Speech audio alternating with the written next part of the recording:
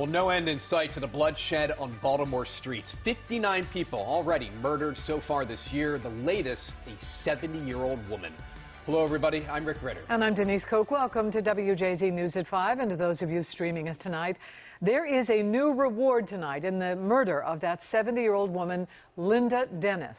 It is just heartbreaking. She's one of the latest victims of violence in Baltimore. And today, police also arrested a 14-year-old, 14 years old, in another killing. And WJZ investigator Mike Hellgren has it covered for us. He is live at City Police headquarters with the latest how to put this into perspective. Mike.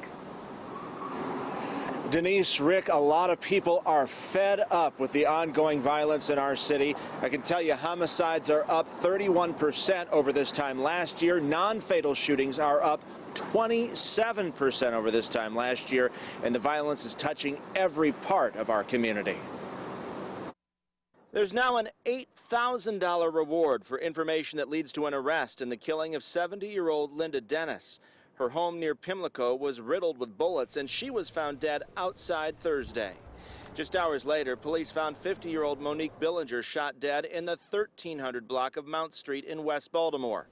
Tributes to Billinger have poured in on social media, and friends tell me she was a loving, caring woman, and they can't believe she's gone. Among them, Bernard Morgan, who coaches at Ben Franklin and Reginald F. Lewis. I know that she loved to sing. I know that she loved going to church. She was a really good person, though, and it, you know, it was a real tragic that it happened, and she didn't deserve to, you know, die like that. Morgan posted on Facebook that he was at a loss for words. The two used to sing together on the Douglass High Choir. I just pray for our family, and um, you know, and I know she up there singing in heaven now. So I'm, I'm, you know, it, it just, I really don't have no answer for. I'm still kind of surprised, uh, still lost for words. But I know she loved music. I love music. So when I'm singing, you know, I'll be thinking of her sometimes. City police also announced they arrested a 14-year-old and a 16-year-old for the killing of 21-year-old Ronald Boone.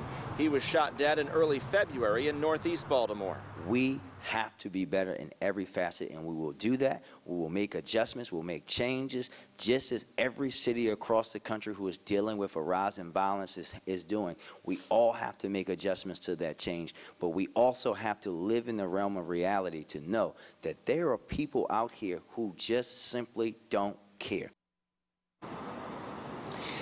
Uh, Governor Larry Hogan has also weighed in on the killing of 70-year-old Linda Dennis. He says it is outrageous and heartbreaking and that the violence has reached a tipping point in Baltimore. He also said that uh, they are matching the reward money for information leading to an arrest.